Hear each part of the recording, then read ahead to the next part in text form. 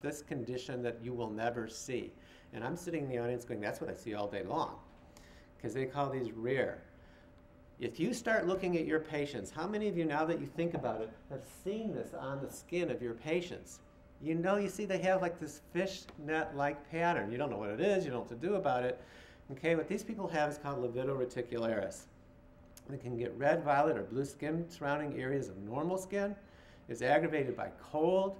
It disappears with warming, and it's due to atherosclerotic emboli, which shower the dermal vessels. If you see this, then you start looking at clotting disorders and immune system disorders in that patient. They could still have dystrophy, but at least they're telling you reasons they're predisposed to it or why it's not getting better. Likewise, they may have a coagulopathy. This is a patient referred for RSD that had, in fact, a, po a positive duplex. They had um, reflux and thrombosis. You might find a D dimer on their laboratory, but they'll present with vasomotor instability, cold sensitivity, hyperpathia, and dysesthesias. Peripheral arterial disease can present as a cold, painful limb.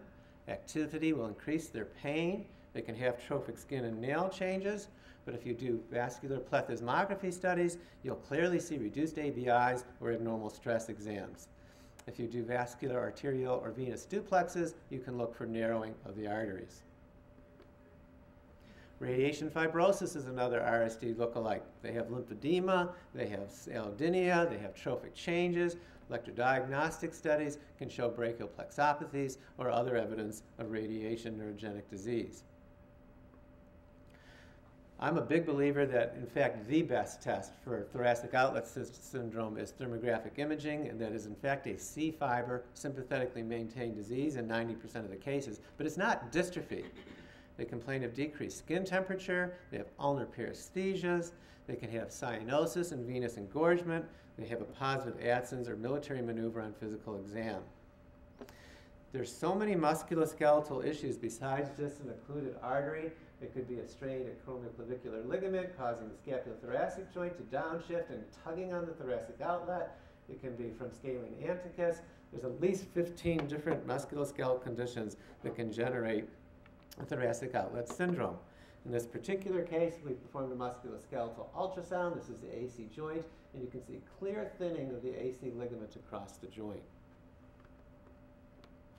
What about vasomotor and sinus headaches? We don't call them dystrophy, but we all know that it's C fiber mediated. We all know it goes through the superior sympathetic cervical ganglion. Okay, these patients, they come in with cluster headaches. They come in um, and take triptans, which of course are affecting blood flow. We might want to do transcranial Doppler with breath holding indexes and stress challenge chest to look to see what's going on in the circle of Willis. So for the conclusion of my first talk, uh, I hope to have reviewed with you what RSD is, what RSD isn't, and our my next talk that I give, we'll talk about thermal imaging and how to diagnose RSD. Thank you.